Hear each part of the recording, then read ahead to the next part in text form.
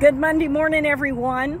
It's a beautiful, sunshiny fall day, and the temp's going to get up to about 72 today.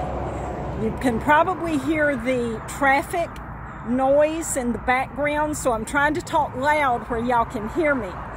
But I decided I would go fishing today because it's such a beautiful day.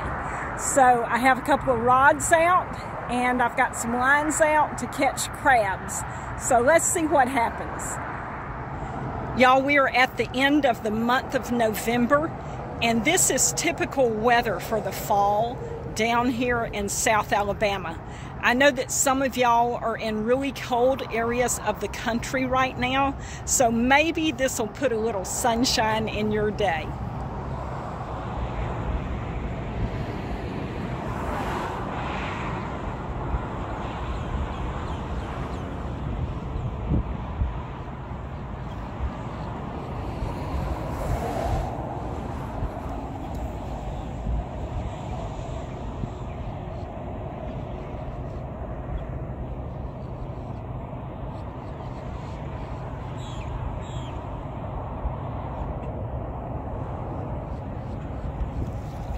Snag this one, y'all. Okay, here's my crab. Y'all see that? There he is.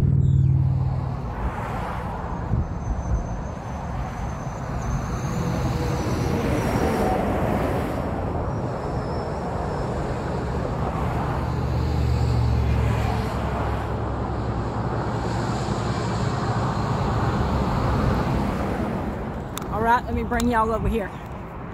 It was actually two crabs. Let's see if y'all can see me. Okay, there was two crabs on that line.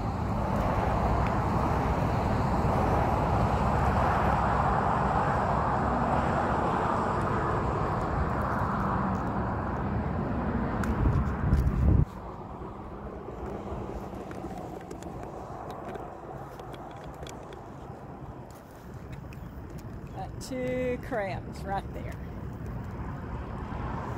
Okay.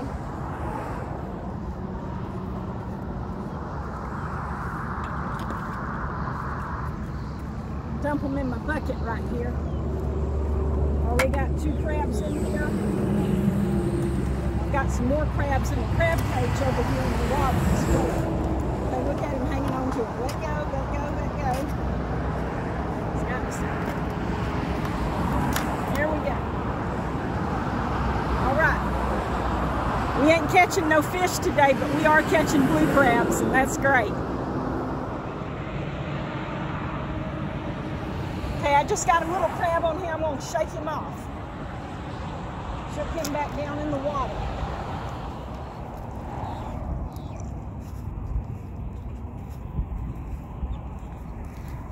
Y'all, that's a big crab down there. And that's the second time he's uh, got off of my off my line. And he didn't get big by being stupid. He he realizes that there's danger and he lets go and he gets away.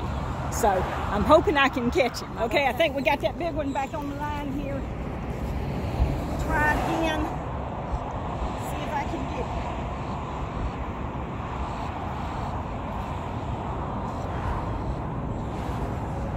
He's a wise one.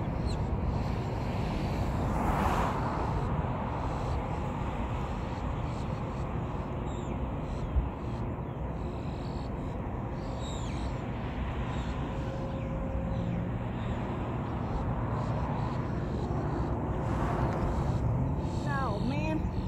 He's so big I can't get my net up under him. All right. Let's give it a minute, see if he'll come back. There we go.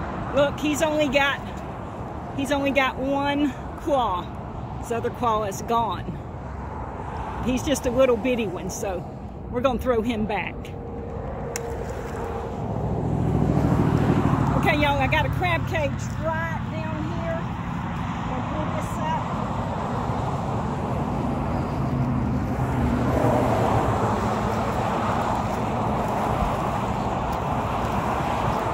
Got a good many crabs in there.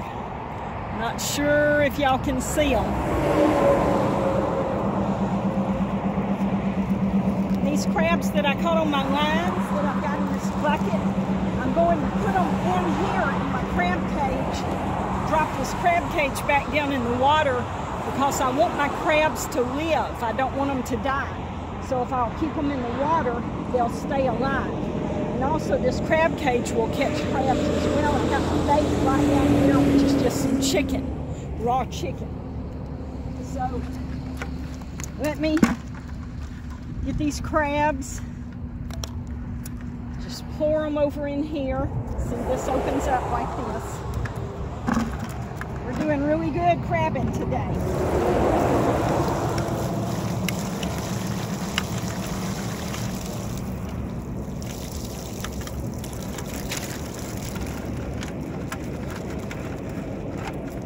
All right, there they are.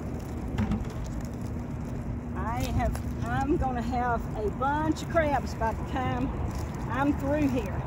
Okay, I'm gonna drop this back down in.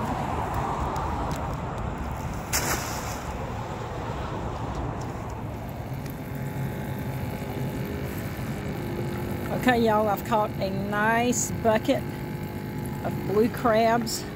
Got my aerator down in there. Keep them alive until I can get them home. That is, if the crabs don't chew my aerator up.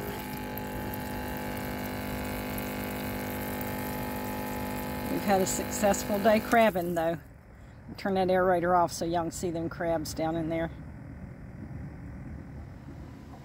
Okay, folks, I am back at the house, and I have my crabs right here in this bucket. So I put the water hose down in this bucket and just wash the crabs off real good. They're still alive and I'm going to put them in this boiling water right here. Now I know that seems really cruel to put live crabs in the boiling water, but that's the way you're supposed to cook them. Okay, I'm to reach down in here with my tongs because I don't want them crabs getting me with their, with their pinchers.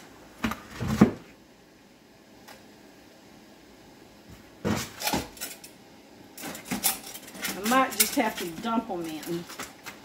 That may be what I have to do. Just dump the whole shebang in.